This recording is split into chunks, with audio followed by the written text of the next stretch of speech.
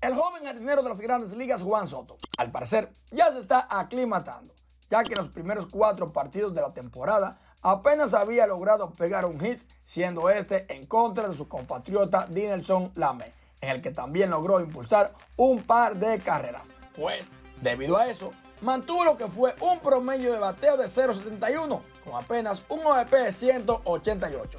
Pero muchos sabían que esto no debía alarmar a nadie ya que apenas la temporada empieza y el joven jardinero antes de debutar en la campaña estaba recuperándose de lo que era una lesión, ya que los padres habían informado que tenía una extensión mínima en el oblicuo, pero logró recuperarse y participar en el Opening Day, destacando que antes de integrarse al Clásico Mundial también se retrasó por una lesión.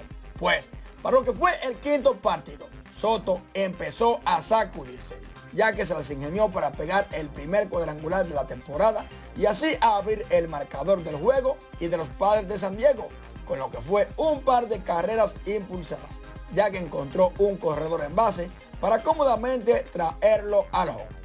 Y es que por lo que fue el primer inning, enfrentando al lanzador de los Diamondbacks de Arizona, Ryan Nelson, Soto le hizo contacto a una recta a 94 millas por hora un lanzamiento por el mismo centro que desde que le hizo contacto se sabía que estaba fuera del estadio, enviándolo a una distancia de 407 pies y viajando a una velocidad de 108 millas por hora.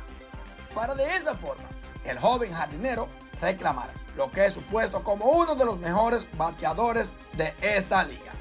Cabe destacar que con este batazo que fue conectado con autoridad y salió por todo el jardín central, les quedó claro cada uno de los que vieron el turno que solo era cuestión de tiempo para que vieran al verdadero Soto renovado y mejor que la temporada pasada. ¿Qué te parece? Nos gustaría saber tu opinión, así que déjala en la caja de los comentarios. No olvides suscribirte, compartir y dar like. Yo soy Manfred Moreta y esto fue Infantry Sport. Hasta la próxima.